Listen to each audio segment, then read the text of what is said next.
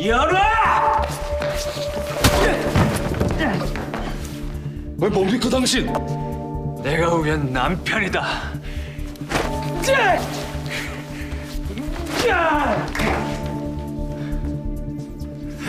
자식.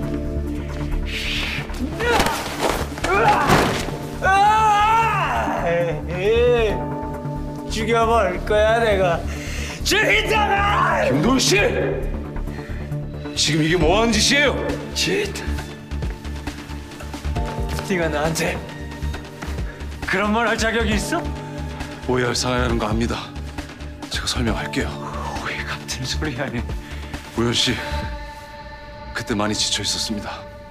도울 게 있다면 뭐든 돕고 싶었던 게 제 진심이었고요. 권력으로 남의 여자 호텔로 끌어들인 게 그게 돕는 거냐? 제 감정 지나쳤던 거 인정합니다.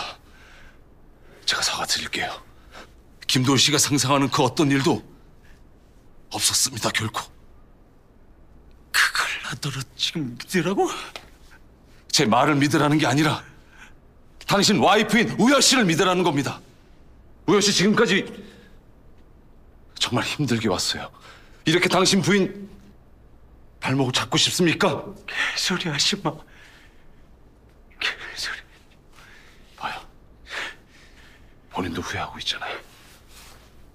우연 씨 힘들게 하려는 게 당신 진심 아니라는 거 저도 느껴집니다. 그러니까 도망치지 말고 지금이라도 떳떳하게 저지른 잘못 사과하시고 수습은 못하더라도 가서 우연 씨 마음이라도 살피세요. 그게 지금 바로 김도희 씨가 할 일입니다. 아시겠어요? 너는 끝까지 뭐가 이렇게 당당한 건데? 왜? 왜? 나! 이거 나! 이건 나이 자식들아! 왜?